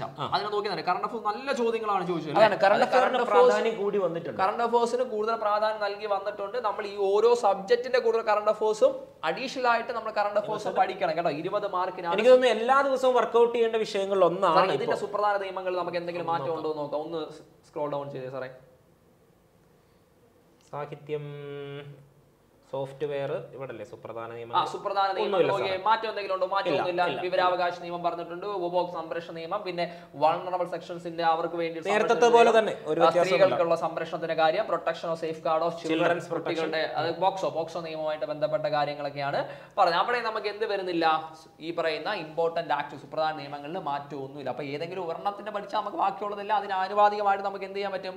പഠിച്ചു പോകാൻ പറ്റുന്നത് ആണ്. ഓക്കെ അപ്പൊ വില്ലേജ് അസിസ്റ്റന്റ് എനിക്ക് തോന്നുന്നു ഒരുപാട് പേര് എഴുതിയ പരീക്ഷയാണ് വില്ലേജ് അതെ, ഒരുപാട് പേര് എഴുതിയ പരീക്ഷയാണ് പക്ഷേ നല്ല നല്ലൊരു നല്ലൊരു ജോലി സാധ്യതയുള്ള ഒരു ജോലി കൂടിയാണ് കേട്ടോ village field assistant. L D ടൈപ്പിസ്റ്റിന്റെ സിലബസിന്റെ കാര്യമൊക്കെ നമുക്ക് ഇന്ന് രാവിലെ ചോദിച്ചിട്ടുണ്ടായിരുന്നു. L D typist L D ടൈപ്പിസ്റ്റിന്റെ കാര്യം ചോദിച്ചിട്ടുണ്ടായിരുന്നു. നമുക്ക് പതിനാറ് അഞ്ച് രണ്ടായിരത്തി ഇരുപത്തി മൂന്നിനാണ് അതിന്റെ ഹോൾ ടിക്കറ്റ് നമുക്ക് മെയ്- രണ്ടിന് മെയ് രണ്ടിന് നമുക്ക് ഹോൾ ടിക്കറ്റ് നമുക്ക് ഡൗൺലോഡ് ചെയ്യാവുന്നതാണ്. എൽ ഡി ടൈപ്പിസ്റ്റിന്റെ കാര്യം നമുക്ക് ഡയറക്റ്റ് അതിന്റെ സിലബസ് നമുക്ക് ജസ്റ്റ് നമുക്കൊന്ന് കാണിച്ചു ടൈപ്പിസ്റ്റിന്റെ ക്ലാസ് എല്ലാം നമ്മൾ കൊടുക്കുന്നുണ്ട് കേട്ടോ. അപ്പോൾ എന്താണ് സിലബസിനകത്ത് നമുക്ക് നോക്കി ജനറൽ നോളജ് കറണ്ട് അഫയേഴ്സ് പത്ത് മാർക്ക് കമ്പ്യൂട്ടർ വേർഡ് പ്രോസസിംഗ് നാൽപ്പത് മാർക്കിനാണ് വളരെ ഇമ്പോർട്ടന്റ് ആയിട്ടുള്ള സാധനം. ടൈപ്പ് റൈറ്റിംഗ് പത്ത് മാർക്ക് ജനറൽ ഇംഗ്ലീഷ് ഇരുപത് മാർക്ക് റീജിയണൽ ലാംഗ്വേജ് മലയാളമാണോ ഇംഗ്ലീഷ് ആണോ എന്നുള്ളത് ഇരുപത് മാർക്കിനാണ് പറഞ്ഞിരിക്കുന്നത് ഓക്കെ രാവിലെ ചോദിച്ചാണ് എൽ ഡി ടൈപ്പിസ്റ്റിന്റെ അതെ. ചോദിച്ചേ ഉണ്ടായിരുന്നുള്ളൂ. ജനറൽ നമ്മുടെ ജനറൽ നോളജ് ജോഗ്രഫി India, പിന്നെ demography history five year plans ആണ് പഠിക്കാനുള്ളത്. പിന്നെ എടുത്തു പറഞ്ഞിട്ടുണ്ടല്ലേ, ഫൈവ് ഇയർ പ്ലാൻസ് എടുത്തു പറഞ്ഞിട്ടുണ്ട് അല്ലേ? ഫൈവ് ഇയർ അതെ അതെ അതെ. പ്ലാൻസ് ഒക്കെ വളരെ ഇമ്പോർട്ടന്റ് തന്നെയാണ്. പി എസ് സി പരീക്ഷ തുടങ്ങിയ കാലം മുതൽ തന്നെ ഒരുപാട് ചോദ്യങ്ങൾ വന്നിട്ടുള്ളതാണ് പിന്നെ ഫാക്സ് അബൌട്ട് കേരള ഇതിനകത്ത് ശ്രദ്ധിക്കേണ്ട ഒരു സാധനം ആണോ നവോത്ഥാനം വന്നിട്ടുണ്ട്. കേരള നവോത്ഥാനം ബ്രഹ്മാനന്ദ ശിവയോഗി ഓരോരുത്തരെ എടുത്തു പറഞ്ഞു തന്നെ എക്സെട്ര ഇട്ട് എല്ലാ നവോത്ഥാന നായകരെ കുറിച്ച് പഠിക്കാൻ സാറേ അവിടെ ഒരു വേറെ കാര്യം കിടക്കുന്നുണ്ട് കറണ്ട് അഫേഴ്സ് എന്ന് പറഞ്ഞാൽ അതിന്റെ കൂട്ടത്തിൽ കറണ്ട് അഫേഴ്സ് എന്ന് പറഞ്ഞ അവിടെയാണ് കാര്യം ഇരിക്കുന്നത്. അവിടെയാണ് പ്രധാനമായിട്ട് നമ്മൾ എന്താ ഒരു കാര്യം ഇരിക്കുന്നത്.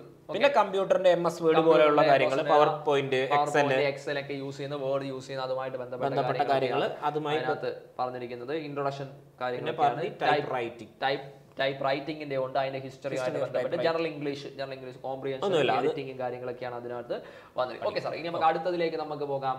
ഓക്കെ അടുത്ത നമുക്ക് ഒരു ഒരുപാട് പേർക്ക് ഇനി നമുക്ക് ഇതിനകത്ത് പ്രതി നോക്കുന്നത് അഗ്രോ മെഷീനറി നമ്മൾ നോക്കിയല്ലോ. ഓൾറെഡി പറഞ്ഞ ഡിസ്കസ് ചെയ്തതാണ്. ഡിസ്കസ് ചെയ്ത് ഡിസ്കസ് ചെയ്ത കാര്യമാണത്. റിസർവ് വാച്ച് റിസർവ് വാച്ചറിന്റെ ഒക്കെ വന്നിട്ടുണ്ട്. ആയ ആയയുടെ ഉണ്ട് ഓക്കെ എല്ലാത്തിന്റെയും വന്നിട്ടുണ്ട് കേട്ടോ. എല്ലാത്തിന്റെയും വന്നിട്ടുണ്ട്. ഡ്രില്ലിംഗ് അസിസ്റ്റന്റ് അങ്ങനെയൊക്കെ ഉള്ളത് വന്നിട്ടുണ്ട്. Drilling assistant mining and geology ഡിപ്പാർട്ട്മെന്റിലെ junior typist junior typist okay അത്രേ ഉള്ളൂ. ടെൻത്ത് ലെവലിൽ നമ്മൾ പ്രധാനമായിട്ട് നമുക്ക് നോക്കേണ്ട എല്ലാത്തിന്റെയും എല്ലാ സിലബസുകളും നമ്മൾ ചെയ്തിട്ടുണ്ട്. റിസൾട്ട് വരും കേട്ടോ. റിസൾട്ട് ഈ പറയുന്ന ജനുവരി ഫെബ്രുവരി മാസങ്ങളിലായിട്ട് റിസൾട്ട് വന്നിരിക്കുമ്പോൾ തന്നെ ഉദ്ദ- ഉദ്ദേശിക്കേണ്ടത് നിങ്ങൾക്ക് വളരെ അടുത്ത് തന്നെ നിങ്ങളുടെ റിസൾട്ട് വരാൻ പോകുന്നുണ്ട് എന്നുള്ളതാണ്. അതുകൊണ്ട് അത്യാവശ്യം നല്ല പ്രതീക്ഷ ഉള്ളവര് എത്രയും പെട്ടെന്ന് പഠിച്ചു തുടങ്ങുക തന്നെ ചെയ്യണം. ആ ഇനി നമുക്ക് പ്ലസ് ടു ലെവൽ ജാക്സ് ഇതിന്റെ വ്യൂ ഒന്ന് മാറ്റാമോ? മോഹനാണ് കേട്ടോ. ജാക്സൺ പോയി. അതെ. മോഹൻ നിങ്ങളൊരു നടനാകണമെന്ന് ആഗ്രഹിച്ചിട്ടുണ്ടെങ്കിൽ മോഹൻ നടനാവാൻ വന്ന ഞങ്ങളുടെ സ്വന്തം ക്യാമറാമാനാണ്. അതെ. ആ. നമ്മുടെ ബാക്ക്ഗ്രൗണ്ടിൽ നമുക്ക് ഒരുപാട് ആൾക്കാർ നമുക്ക് ഉണ്ട് കേട്ടോ ലൈവ് നമുക്ക് പോകുമ്പോൾ നമുക്ക് സഹായിക്കുന്നതിന് ഒരുപാട് പേരുണ്ട്.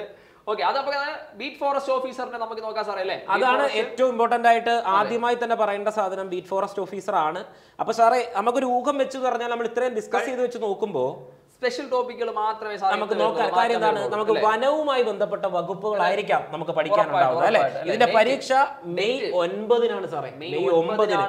സാറേ എനിക്ക് തോന്നുന്നു ഏപ്രിൽ മെയ് മാസങ്ങളിൽ നമ്മൾ ഉദ്യോഗാർത്ഥികൾക്ക് ഉറക്കമില്ലാത്ത രാവുകളാണ് ഉള്ളതെന്നാണ് ഉറക്കമില്ലാത്ത രാവുകൾ പിന്നെ അന്ന് എന്തായാലും നമ്മുടെ കെ എസ് ആർ ടി സിക്ക് നല്ലൊരു വലിയൊരു K S R T C ലാഭത്തിലാകാൻ പോകുന്ന ഒരു നാളായിരിക്കും ഏപ്രിൽ എല്ലാ ദിവസവും എക്സാം ഉണ്ട് അല്ലേ അതെ എനിക്കൊന്നും എല്ലാ ദിവസവും എക്സാം ഉണ്ട്. വളരെ നല്ലതായിട്ട് K S R T C special പക്ഷെ വലിയൊരു അവസരമാണ് സാറേ. ഒന്ന് ഈ ഇലക്ഷൻ വരുന്നു എന്നൊരു കാരണം ഉണ്ടായതുകൊണ്ട് തന്നെ ഈ ഒരു മാസ് റിക്രൂട്ട്മെന്റ് വളരെ പെട്ടെന്ന് നടക്കും എന്നുള്ളത് ഉറപ്പാണ്. പിന്നെ പി എസ് സി പറയുന്നുണ്ട് ഞങ്ങൾ പെട്ടെന്ന് തന്നെ ഞങ്ങൾക്ക് ഉദ്യോഗസ്ഥരെ ആവശ്യമുണ്ട് ഞങ്ങൾ എടുക്കാൻ പോകുന്നു സിലബസ് നോക്കാം നമുക്ക്.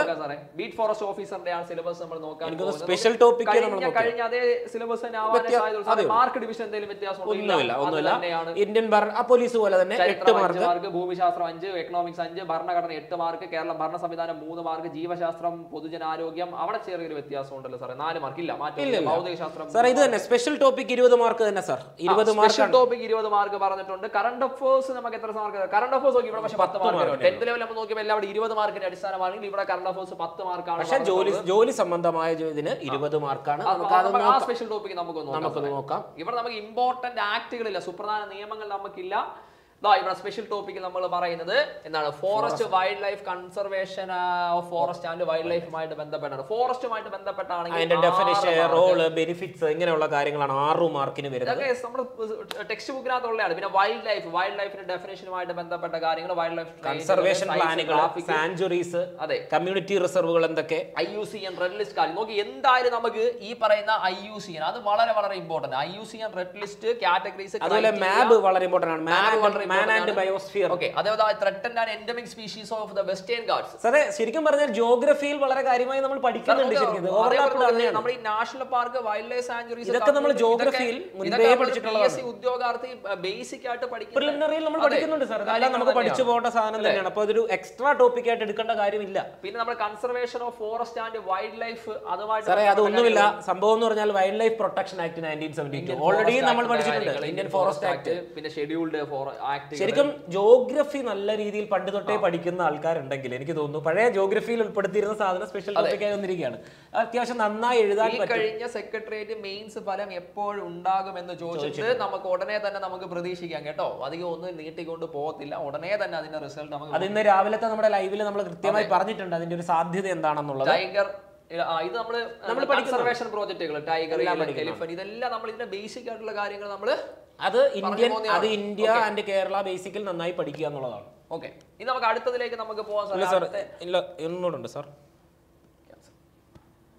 ഓക്കെ ഇതാ ഇതുകൂടെ നോക്കണം. ആ ഇൻഫർമേഷൻ ഐ ടി ആക്ടുമായിട്ട് ബന്ധപ്പെട്ട കാര്യങ്ങൾ അത്രേ ഉള്ളൂ. ഓക്കെ അതാണ് ഒരു അഡീഷണൽ വരുന്നത് അല്ലേ? അഡീഷണൽ വരുന്നത് അത് മാത്രമേ ഉള്ളൂ ഓക്കെ ബീറ്റ് ഫോറസ്റ്റ് ഓഫീസർ കഴിഞ്ഞാൽ പിന്നെ നമുക്ക് പ്ലസ് ടു ലെവൽ നോക്കാനുള്ളത് ബീറ്റ് ഫോറസ്റ്റ് എല്ലാ ജില്ലകളിലും എല്ലാ ജില്ലകളിലും ഓൾമോസ്റ്റ് വിളിച്ചു. എല്ലാ ജില്ലകൾക്കും ഉണ്ട് കേട്ടോ ഒരേ ഡേറ്റിൽ നമുക്ക് എല്ലാവരോടും പറയാനുള്ള കാര്യം നമ്മളും ഇത് അനലൈസ് ചെയ്യുകയാണ്. നമ്മൾ ഒന്നിച്ചിരുന്ന് ചെയ്താൽ മാത്രം ഇനി എക്സൈസ് സിവിൽ എക്സൈസ് ഓഫീസർ അതിനും മാറ്റമൊന്നും വരാൻ സാധ്യതയില്ല സാറേ. നമുക്ക് സിലബസിന് വലിയ വ്യത്യാസം സിലബസിന് മാറ്റില്ല കഴിഞ്ഞ വർഷത്തെ അതേ സിലബസ് തന്നെയായിരിക്കും ഡയറക്റ്റ് ഓക്കെ നമുക്ക് ഏതെങ്കിലും സോറി അതിന്റെ ഡേറ്റ് പത്തൊമ്പത് അഞ്ച് തന്നെ കണ്ടോ അതേ ഡേറ്റ് അതായത് ബീറ്റ് ഫോറസ്റ്റ് ഓഫീസറിനോട് ഒപ്പം തന്നെ വരാൻ സാധ്യതയുള്ള മെയിൻസ് ആണ്. അഞ്ച് അഞ്ചിന് ഉണ്ടാവില്ല. ആ സിലബസ് ഒന്ന് സിലബസ് വ്യത്യാസം വരാനായിട്ടുള്ളത് സാധ്യതയൊന്നുമില്ല. ഇല്ല. മാർക്ക് ഡിവിഷനും സെയിം തന്നെയാണ്. ആധികാരിക വിഷയങ്ങൾ പത്ത് മാർക്ക് സ്പെഷ്യൽ ടോപ്പിക് അതിന്റെ വെയിറ്റേജ് തന്നെയാണ്. അത് നമുക്ക് ഈ നേരത്തെ പറഞ്ഞതിന്റെ കൂട്ട് നമ്മളെ നർക്കോട്ടിക്സുമായിട്ട് ബന്ധപ്പെട്ട് ബന്ധപ്പെട്ടതായിരിക്കും. കാര്യങ്ങളൊക്കെ ആയിരിക്കും അതിനകത്ത് നമുക്ക് ആക്ട്. നമ്മുടെ കഴിഞ്ഞ അതേ ഒരു ആക്ട്. ബന്ധപ്പെട്ട കാര്യങ്ങൾ ഡിസ്റ്റിലറി വെയർ ഹൗസുമായിട്ട് ബന്ധപ്പെട്ട കാര്യങ്ങളാണ്. പിന്നെ റൂൾസ് ബന്ധപ്പെട്ട്. നമുക്ക് ചോദിച്ചിട്ടുണ്ടായിരുന്നു. ആക്ട് നമുക്ക് വന്നിട്ടുണ്ട്. ഓക്കെ പിന്നെ ക്യാമ്പയിൻ ആൽക്കഹോളിസം പിന്നെ നമ്മുടെ I T I act T act എനിക്ക് തോന്നുന്നു അത് തന്നെ ഫോറസ്റ്റിലും മാറ്റമൊന്നുമില്ല അവിടെ നമുക്ക് കഴിഞ്ഞ പ്രാവശ്യത്തെ അത് തന്നെയാണ്. വിമൺ ആണെങ്കിലും എക്സൈസിൽ അത് വന്നു. എക്സൈസ് ഓഫീസറും അത് തന്നെയാണ്. Constable constable. കോൺസ്റ്റബിൾ ഒന്ന് എടുത്ത് സാറേ കോൺസ്റ്റബിളിന്റെ ഇരുപത്തഞ്ച്. ഡയറക്റ്റ് ഇല്ല കോൺസ്റ്റബിൾ മറ്റേതിൽ നമ്മൾ പറഞ്ഞു പറഞ്ഞിട്ടുണ്ട് പറഞ്ഞിട്ടുണ്ട് പറഞ്ഞിട്ടുണ്ട്. Okay fire and rescue officer ഇല്ല ഡയറക്റ്റ് ഉള്ളത് പിന്നെ ഇത് അതൊക്കെ ഓൾറെഡി നമ്മൾ പറഞ്ഞു. ഇനി നമുക്ക് പെട്ടെന്ന് നമുക്ക് ഡിഗ്രി ലെവലിലേക്ക് നമുക്ക് നോക്കാം. ഡിഗ്രി ലെവൽ മോഹൻ മാറ്റാമോ? ആ ഡിഗ്രി ലെവൽ എടുത്തേ. ഡിഗ്രി ലെവൽ ഒന്ന് വ്യൂ ഒന്ന് മാറ്റണേ. ഓക്കെ ഓക്കെ ഡിഗ്രി ലെവലിൽ വളരെ ഇന്ന് രാവിലെ ചോദിച്ച കുറെ ചോദ്യങ്ങൾക്കുള്ള ഉത്തരം ഇന്നത്തെ ഡിഗ്രി ലെവലിന്റെ ഇതിനകത്തുണ്ട്. നമുക്ക് നോക്കാം.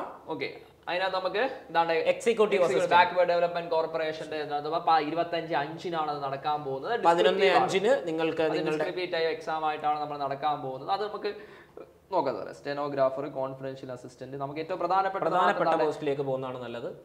എല്ലാവരും ഡിവിഷണൽ അക്കൗണ്ട് ഒരുപാട് പേര് അല്ലെ? അന്ന് എന്താണെന്ന് അറിയാതെ തുടങ്ങിയ പരീക്ഷയാണ്. അതിന് വളരെ ഇമ്പോർട്ടന്റ് ആയിട്ടുള്ളതാണ്. നമുക്ക് നോക്കാം. ഡിവിഷണൽ അക്കൗണ്ട് മൂന്ന് ആറ് രണ്ടായിരത്തി ഇരുപത്തി മൂന്നിനാണ് പരീക്ഷ അതായത് ജൂൺ മാസം ജൂൺ മൂന്നിന്. പേപ്പർ ത്രീയും അതിന് വരും അതായത് കണ്ടല്ലോ ശ്രദ്ധിച്ചു നോക്കുക. Paper one paper two paper three അതിൽ പേപ്പർ വണ്ണും ടൂവും ഒരേ ദിവസമാണ് സാർ. അതെ. അതിൽ പേപ്പർ ത്രീ എന്ന് പറയുന്നത് അതിന്റെ അടുത്ത ദിവസത്തേക്ക് വരുന്നുണ്ട്. ഓക്കെ സിലബസ് നമുക്കൊന്ന് നോക്കാം. ആ, ഇത് അതെടുത്താൽ മതി. ഇതല്ലേ ഓക്കെ ഇതല്ലേ? ഡിവിഷണൽ അതിനകത്ത് പേപ്പർ വൺ ജനറൽ നോളജ് ആണ്. Paper two elementary book keeping നൂറ്റൻപത് മാർക്ക് നൂറ്റൻപത് മാർക്കിനാണ് അല്ലേ? നൂറ്റൻപത് മണിക്കൂർ നൂറ്റൻപത് പേപ്പർ ത്രീക്ക് ആണെങ്കിൽ എലിമെന്ററി മാത്സ് ആണ് ഇരുന്നൂറ് മാർക്കിനാണ് എന്താണ് ഈ പേപ്പർ വൺ പേപ്പർ വൺ എന്ന് പറയുമ്പോൾ നമുക്ക് അതിനകത്ത് ഇങ്ങനെ ഒന്ന് രണ്ട് മൂന്ന് നാല് അഞ്ച് ആറ് ആയിട്ട് ഡിവൈഡ് ഡിവൈഡ് ചെയ്തിട്ടുണ്ട്. അതിനകത്ത് മാർക്ക് ഓരോന്നിനും പറഞ്ഞിട്ടുണ്ട് കേട്ടോ. ശരി. സാർ നമുക്ക് അടുത്തൊരു ലൈവ് സെഷൻ നമുക്ക് പോകണം അതുകൊണ്ട് നമുക്ക് പെട്ടെന്ന് നമുക്ക് ഏറ്റവും പ്രധാനപ്പെട്ട നമുക്ക് നോക്കാം. നാളെ രാവിലെ ചോദിച്ച ജൂനിയർ അസിസ്റ്റന്റ് കാഷ്യർ എവിടത്തേക്കാണ് നോക്കിയത് K S C B K S F E K M M L ആണ്. ഡയറക്ട് റിക്രൂട്ട് ആറ് ആറ് രണ്ടായിരത്തി ഇരുപത്തി മൂന്നിലാണ് ഇരുപത്തി മൂന്ന് അഞ്ചു നമുക്ക് സിലബസ് നമുക്ക് ഡൗൺലോഡ് ചെയ്യാം. ഏഴേകാൽ മുതൽ ഒൻപതേകാൽ വരെയാണ് കേട്ടോ. അതായത് പോവരുത്. രാവിലെ എഴുന്നേറ്റ് പോകണം ഏഴേകാൽ സിലബസ് അതിന്റെ സിലബസ് നമുക്ക് ഇമ്പോർട്ടന്റ് ആയിട്ട് നോക്കാം. പെട്ടെന്ന് നോക്കാം. അവിടെ നമുക്ക് എന്താണ് സാറേ? ഇവിടെ കേരള ഗവേണൻസ് നമുക്ക് പത്ത് മാർക്ക് എന്ന് പറയുന്ന വലിയൊരു ടോപ്പിക്കിനെ നന്നായിട്ട് പഠിക്കണം. ഗവേണൻസ് നന്നായി പഠിക്കണം. പത്ത് മാർക്ക് ഉണ്ട്. പിന്നെ നമുക്ക് കറണ്ട് അഫേഴ്സ് കറണ്ട് അഫേഴ്സ് പതിനഞ്ച് മാർക്ക് പഠിക്കണം. ഇവിടെ നമുക്ക് വേറെ ഒന്നും സെക്രട്ടേറിയറ്റ് അസിസ്റ്റന്റിന്റെ സിലബസ് തന്നെയാണ്. ഒരു സെക്രട്ടേറിയറ്റ് വ്യത്യാസവും സിലബസ് ഇല്ല. തന്നെയാണ്. ഒരു വ്യത്യാസമില്ല സെക്രട്ടേറിയറ്റ് അസിസ്റ്റന്റ് അതേ സിലബസ് തന്നെയാണ്. നമ്മൾ സ്പെഷ്യൽ ടോപ്പ് ഈ പറയുന്നതിൽ നമുക്ക് ഈ പറയുന്ന ഇമ്പോർട്ടന്റ് ആക്ടുകൾ നമുക്ക് പെട്ടെന്ന് നോക്കാം. സാർ അഞ്ച് മാർക്കിനാണ് നമുക്ക് നോക്കാം സെക്രട്ടേറിയറ്റ് അസിസ്റ്റന്റ് അത് തന്നെയാണോ എന്ന് നമുക്ക് ജസ്റ്റ് നമുക്ക് നോക്കി പോവാം. ഇമ്പോർട്ടന്റ് ആക്ടുകൾ അഞ്ച് മാർക്ക് കുറച്ചുകൂടെ അതാണ് വന്ന് സാറേ വന്ന് വന്ന്. നോക്കേ സെക്രട്ടേറിയറ്റിന്റെ സെയിം മാറ്റം ഒന്നുമില്ല. സെക്രട്ടറി സെയിം ആണ്. Information act right to public services ഉണ്ട്. കൺസ്യൂമർ പ്രൊട്ടക്ഷൻ വൾണറബിൾ സെക്ഷൻസിന്റെ ആയത് വുമൺ ചിൽഡ്രന്റെ പ്രൊട്ടക്ഷന്റെ പിന്നെ corruption man administration public servant definition administrative time മാറ്റം ഒന്നുമില്ല സാറേ. സെയിം തന്നെയാണ്. സെക്രട്ടേറിയറ്റ് അസിസ്റ്റന്റ് സെയിം സിലബസ് തന്നെയാണ്. കമ്പനി ബോർഡിനകത്ത് പക്ഷേ വളരെ എളുപ്പം പഠിച്ചെടുക്കാവുന്ന പഠിച്ചിരിക്കുന്ന ആൾക്കാർ. തന്നെയാണ് ഇപ്പൊ പഠിച്ചിരിക്കുന്ന ആൾക്കാർ തന്നെയാണ്. പിന്നെ നമുക്ക് പ്രധാനപ്പെട്ട നമുക്ക് ബിവറേജ് അല്ലെ? ബിവറേജിലെ അസിസ്റ്റന്റ് ബിവറേജ് അസിസ്റ്റന്റ് ഒരുപാട് പേർക്ക് കിട്ടിയിട്ടുള്ള ഒരു പരീക്ഷയാണ്. അതിന്റെ സിലബസിന് എനിക്ക് സാറേ മാറ്റമൊന്നും വരാൻ സാധ്യതയില്ല. മാറ്റമൊന്നും വരാൻ സാധ്യത ജസ്റ്റ് നമുക്ക് നോക്കാം. അവിടെ നമുക്ക് കോൺസ്റ്റിറ്റ്യൂഷൻ അഞ്ച് മാർക്ക് അത് സെയിം മാർക്കാണ് സെയിം മാർക്കാണ് ഇമ്പോർട്ടന്റ് ആക്ട് അഞ്ച് മാർക്ക് കറണ്ട് അഫേഴ്സ് പതിനഞ്ച് മാർക്ക് ചിലപ്പോൾ ഇവിടെ നമുക്ക് ചിലപ്പോൾ ബിവറേജ് അതുമായിട്ട് ബന്ധപ്പെട്ട എന്തെങ്കിലും ചിലപ്പോൾ ഇമ്പോർട്ടന്റ് ആക്ടിനകത്ത് ഉണ്ടോ എന്ന് നമുക്ക് നോക്കാം സാറേ. ഒന്ന് സ്ക്രോൾ ഡൗൺ താഴോട്ട് ചെയ്തേ. ഇല്ല അവിടെയും നമുക്ക് നോക്കിയാൽ മാറ്റമൊന്നുമില്ല അവിടെയും നമുക്ക് മാറ്റം. അതായത് നമുക്ക് ഒരു എക്സാമിന് വേണ്ടി പഠിച്ചാൽ മതി. ഏതെങ്കിലും ഒരെണ്ണത്തിന് വേണ്ടി പഠിച്ചാൽ അതിന്റെ കൂട്ടത്തിൽ അനുബന്ധമായിട്ട് വരുന്നത് നമുക്ക് എന്ത് ചെയ്യാം? പഠിച്ചു? സ്പെഷ്യൽ ആയിട്ട് നമ്മളിവിടെ അഡീഷണൽ ആയിട്ട് പഠിക്കേണ്ട കാര്യം ഒന്നും നമുക്ക് ഇവിടെ വരുന്നില്ല. ഓക്കെ അങ്ങനെ നമ്മൾ ആസിസ്റ്റ് പിന്നെ നമ്മൾ K S R T C പതിനേഴ് ആറിനാണ്. അപ്പൊ നോക്കിയാൽ മാറിപ്പോരും നമ്മുടെ. K S R T C മാറ്റമുണ്ട് കെ എം എം എൽ പോലുള്ള സാധനങ്ങൾക്ക് വേറൊരു ഡേറ്റ് ആണ്. ഇതിന് വേറൊരു ഡേറ്റ് ആണ്. അതിന്റെ സിലബസ് നോക്കാം. സിലബസ് എന്ന് പറയുന്നത് സെയിം തന്നെയാണ് സിലബസ് ആണ്. അതുകൊണ്ടാണ് ഇത് തന്നെ വരുന്നത്. സിലബസിനകത്ത് മാറ്റമൊന്നും വരുന്നില്ല. ഓക്കെ ഇല്ല. സ്പെഷ്യൽ ടോപ്പിക് ആണെങ്കിലും മാറ്റം കമ്പനി ബോർഡ് എല്ലാം ഒരേപോലെ പഠിച്ചാൽ പഠിച്ചാൽ മതി. ജൂനിയർ എംപ്ലോയ്മെന്റ് ഓഫീസറിനും സെയിം തന്നെയാണ്. പത്തര ഡേറ്റ് നോക്കി പതിനേഴ് ആറിനാണ്. അതെ. ഓക്കെ ഇതാണ്. മാറ്റമൊന്നുമില്ല. സെയിം തന്നെ ആയിട്ടാണ് പോകുന്നത്. ഓക്കെ അപ്പൊ നമ്മുടെ സിലബസുകളെല്ലാം നമുക്ക് ഡീറ്റെയിൽഡ് ആയിട്ടുള്ള സിലബസുകളെല്ലാം നമുക്ക് വന്നിട്ടുണ്ട്. ഇനി നിങ്ങൾ എന്ത് ചെയ്താൽ മതി? പ്രിപ്പറേഷൻസ് മാത്രം നിങ്ങൾ സാറേ അപ്പൊ നമ്മുടെ കോഴ്സുകളൊക്കെ തുടങ്ങുമല്ലേ ആ കോഴ്സുകൾ നമ്മൾ എന്ത് ചെയ്യണം? ഉടനെ തന്നെ തുടങ്ങുകയാണ് അപ്പോൾ എത്രയും പെട്ടെന്ന് തന്നെ നിങ്ങൾ എന്ത് ചെയ്യുക? നമ്മുടെ ഈ താഴെ കാണുന്ന നമ്പറുമായി ബന്ധപ്പെടുക. നിങ്ങളുടെ മെയിൻസ് മെയിൻസ് പരീക്ഷയ്ക്ക് തയ്യാറെടുക്കുന്നവർക്കുള്ള എല്ലാ കോഴ്സുകളും ടീം കോമ്പറ്റേറ്റീവ് ക്രാക്കർ ആരംഭിച്ചിട്ടുണ്ട്. അപ്പോൾ എത്രയും പെട്ടെന്ന് നിങ്ങൾ വളരെ വൈകാതെ തന്നെ വളരെ കുറച്ച് സമയം മാത്രമാണ് നിങ്ങൾക്കുള്ളത്. വളരെ പെട്ടെന്ന് തന്നെ ഈ കോഴ്സ് നിങ്ങൾ ജോയിൻ ചെയ്യുക. നമുക്ക് എന്നിട്ട് എന്ത് ചെയ്യാം? നേരിട്ട് ക്ലാസ്സിൽ കാണാം. സ്പെഷ്യൽ ടോപ്പിക്കുകളുടെ ക്ലാസ്സുകൾ അടങ്ങുന്ന മെയിൻസ് ടോപ്പിക്കുകളാണ് നമ്മൾ കൊടുക്കുന്നത്. സ്പെഷ്യൽ ടോപ്പിക്കിന് മാത്രമായിട്ട് നമ്മൾ എന്ത് ചെയ്യുന്ന ബാച്ച് നമ്മൾ നടത്തുന്നതായിരിക്കും. അപ്പോൾ അങ്ങനെ ഉണ്ടെങ്കിലും നിങ്ങൾ എന്ത് ചെയ്യുക? പെട്ടെന്ന് തന്നെ ഈ കാണുന്ന നമ്പറുമായി ബന്ധപ്പെടുക. ഇപ്പൊ തന്നെ ബന്ധപ്പെടുക. എന്നിട്ട് പെട്ടെന്ന് നമ്മളുടെ ഫാമിലിയിലേക്ക് പോരും. Okay okay thank you okay thank you